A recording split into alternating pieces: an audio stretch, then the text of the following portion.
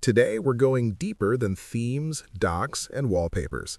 Linux Mint already feels good out of the box, but under the surface, the kernel is making dozens of decisions every second.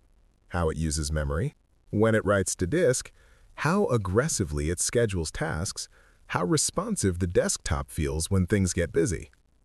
In this video, I'm tuning Linux Mint 22 at that deeper level. These are practical, real-world tweaks, nothing experimental, nothing unstable, just adjustments that make the system feel smoother and more consistent during daily use.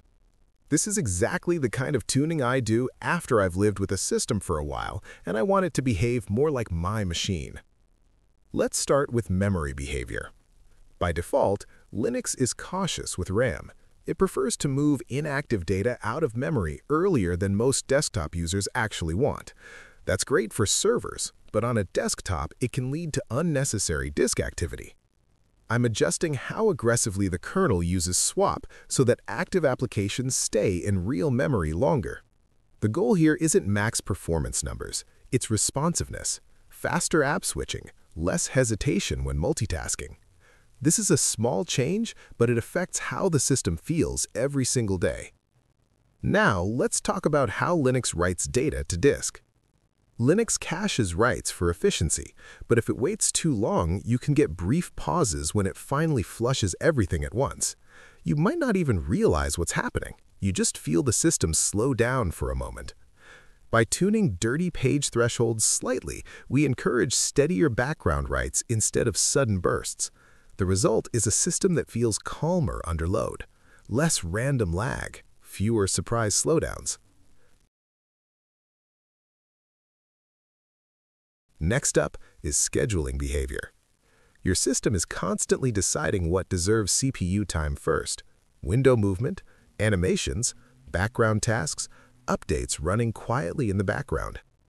Desktop systems benefit from prioritizing interactivity, so here I'm adjusting scheduler preferences to favor smooth input and UI responsiveness without starving background processes.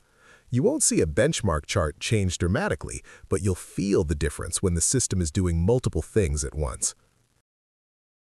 Now let's move into compressed memory. Instead of pushing idle data straight to disk, Linux can compress it in RAM first. This keeps more applications instantly available and reduces disk usage under pressure. Once enabled, the system becomes more forgiving. You can open more apps, keep more tabs, switch tasks faster, and everything stays responsive longer before the system has to touch storage. This is one of those features that feels invisible until you disable it. Then you immediately miss it. Let's shift gears and talk about interrupts. Modern systems handle a lot of hardware events, network traffic, storage activity, input devices. If all of that gets handled by the same CPU core, you can get uneven performance. By enabling intelligent interrupt balancing, we let the system distribute that work more evenly across available cores. This reduces spikes and improves consistency, especially during multitasking. It's a quiet optimization, but it contributes to a smoother overall experience. Now let's look at power and performance behavior. Power management isn't just about battery life. It directly affects how quickly your CPU responds to demand. Poor tuning can cause hesitation, delayed boosts, or overly aggressive downclocking. Here, I'm enabling a balanced power profile that favors responsiveness without locking the system into high power draw. Applications feel more immediate. Animations feel tighter. The system reacts when you expect it to. Again, nothing extreme, just sane defaults for a desktop that's actually being used. At this point, we've adjusted memory usage, disk behavior, scheduling, interrupts, and power management, all without touching experimental features, all reversible, all designed for long-term stability. Now I want to show you how to confirm these changes. Not because you need to obsess over numbers, but because understanding how to check your system gives you confidence. You know what's running, you know what's active, and you're not guessing. I'll verify memory behavior, active services, and kernel parameters in a way that's clear and readable. No clutter, no unnecessary system panels. And here's the important part. None of these tweaks are about fixing Linux Mint. Mint is already solid. This is about aligning the system with how a desktop is actually used in the real world. If you ever decide a tweak isn't for you, you remove it.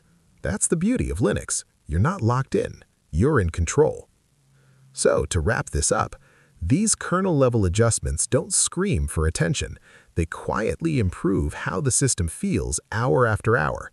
Less friction, more flow, fewer interruptions. I'll list every command used in this video clearly in the description so you can apply them at your own pace. No rush, no guesswork. If you want more videos like this, real Linux tuning that respects stability and common sense, let me know. There's a lot more depth we can explore without turning the system into a science experiment. Linux Mint doesn't need hype. It just rewards understanding. And that's exactly why it works so well.